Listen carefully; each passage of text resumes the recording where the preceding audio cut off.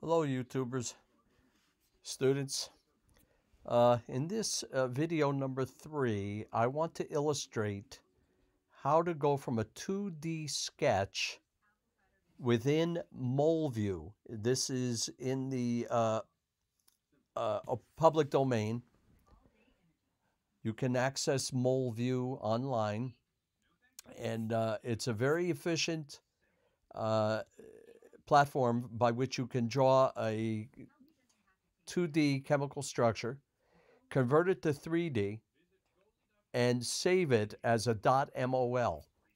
Then I'm going to show you how you can take that and export it over to SciGress platform, which I do molecular modeling with. You see, SciGress will not allow you really to do two-dimensional sketches, chemical structures. And when you're a beginning student, that's a very important thing to gain experience with. So let me show you uh, how this can work. So uh, I'll close up MolView. I bookmarked that. And I'm going to X out this, uh, that's a purine. I'm going to X that out. So let me draw a structure. I'll put a so-called benzene ring. And I'll put, uh, oh, another ring right here. And then I'm going to put a larger ring here. And I'm going to put uh, nitrogen. We'll make a heterocycle right there. And uh, let me put a couple of bonds over here. Okay, now let's take that and go to 3D. And there it is. Let me bring this over. And there is uh, the uh, three-dimensional ball and stick model, which can be interrogated by holding down the uh, L button of the mouse. And uh, what we're going to do with this is now save it. So we're going to go to Model, uh, and we're going to go to, let's see, Okay, 2D to 3D, which we've done. There we are. And then under Tools, Export Mol file. Now, it will simply call whatever you export to your desktop molview.mol. And uh, I do one at a time. And then when I go back, I replace uh, the structure I've worked with with a new one and simply call that molview.mol. So I'm going to keep that and I'll save that. And I'm using Firefox with my Mac and it's completed. I'll bring it to the desktop and replace the older one I had there. So it's there. Now, here it is. They're using the ChemDraw hexagon from the ChemOffice platform. Okay, I'm going to X this out, and I'm going to close MolView. And now uh, I have you brought to SciGress.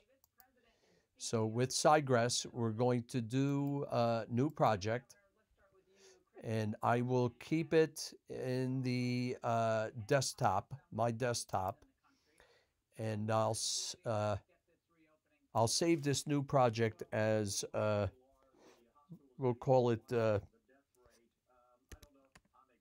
April 5. And I'll save that. All right, now, now I can begin to work. So what I'm going to do is uh, with April 5 over here, uh, we're going to do a chemical sample. I'm going to import a file. And then I'll go to the desktop and I'm going to look for that MolView. There it is. Now, I left this file format with .mol. And that's the one I just downloaded and we'll bring it in. There it is. Uh, the whole purpose of this video really is to show you you have access to MolView, an excellent uh, uh, platform in the public domain. And uh, one of the things I found out, I normally was working with something called ChemOffice, both ChemDraw and Chem3D within ChemOffice. But with the Mac, we're having difficulties apparently with three-dimensional uh, uh, views. Uh, it's not working very well with Mac, so that's why I do this. And I also like the idea that a beginning student can draw out a structure in 2D before going to 3D. So therefore, we bring it right in. Now watch what I'm going to do. First, with uh, SciGress, I have to uh, do an action called Beautify, comprehensive, just to clean it up a little bit. And uh, now it's ready to be processed. I normally don't work with ball and stick, so I'm going to change it to View Atoms and Bonds wireframe. That's what I'm mostly comfortable with. But I also, with that, I use uh, with uh, View, I also do uh, um,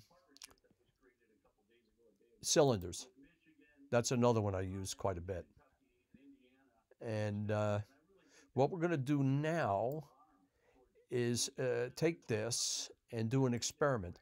Uh, and of course, what I'm doing is creating videos here because I want to be able to refer to them uh, two, three weeks, five weeks from now. I work with several platforms. I work with uh, downloaded proteins from the uh, protein database online, and I do a lot of modeling of uh, various uh, drug candidates to active sites of enzymes.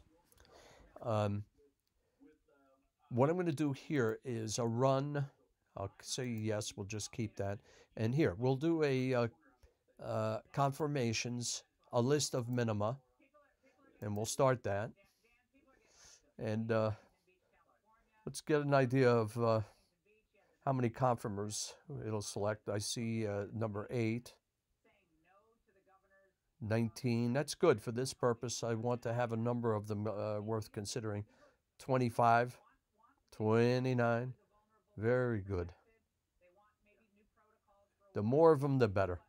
Now remember, in terms of a drug, the lowest energy shape, once you determine that, you could be doing uh, molecular mechanics on small organics, but normally molecular mechanics is good for angles, lengths, very important with uh, proteins, large molecules.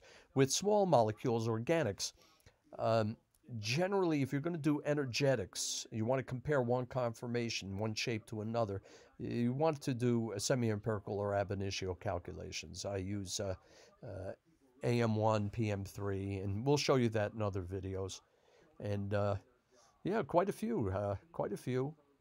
And now it's done. That's good. Very good. Now, what happens once you tell them you want a list?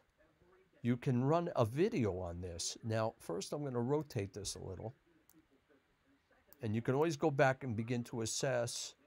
You can see the chain over there is extended out. And uh, here's your heterocyclic ring. Nitrogen, of course, by convention is blue, oxygen red, uh, carbons are gray in this case. Uh, this one ring has two pi bonds conjugated to each other, double, single, double. Okay, now we can watch the movie. So I'm going to click uh, start over here. And you will see this vertical line. And what's happening, you're seeing various shapes, conformations, as a function of potential energy. See, we're up to 41.42, 45. So quite a few confirma- uh, conformations, conformers are showing up. And uh, of course, uh, a very high energy one, uh, we're up around, now there's the lowest one, see? We were about 38. I'll stop this and backtrack. And uh, we, there we are, somewhere around 38.6 kilocal per mole. This would be what's called the global minimum. Right now, that's the lowest energy shape. Now, if that's a drug, you can't assume the lowest energy conformer is going to be the bioactive shape of the drug. See, that's the million dollar question. It might be uh, two, three, four, five kilocal per mole higher than the global minimum. And uh, if you have a rigid drug with very little flexibility, then you're seeing uh, the bioactive shape. There was a uh, an enzyme. There is an enzyme, aldose reductase, and uh, that drew a lot of attention and still does uh, because that is a very active enzyme in diabetics and they can suffer from retinopathy. And uh, one of the first compounds I think put on the market, Pfizer and Sons, was sorbinil, a rather rigid structure. So when you're looking at that, there's not much flexibility. You're seeing the active site demands of that, uh, what's called direct uh, inhibition, uh, inhibition uh, that's competitive. Uh, it, in other words, a the substrates, uh, it's the structure is very similar to the substrate, and the shape, the conformation is very similar.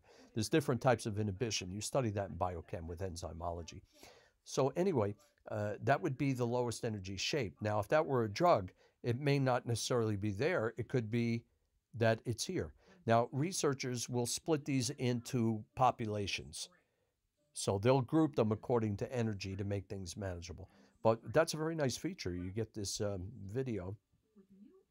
And uh, then we can, of course, save this and uh, go back to it later on. But the importance uh, here of this video, my purpose is showing you how you can use the MolView to do a 2D sketch, make sure it's correct, uh, transport it over, make it 3D, save as uh, .mol, and then you can uh, export it right over to SciGress, bring it in, and begin to do uh, different types of molecular modeling. Okay, this is video number three. Thank you so much for watching. Bye for now.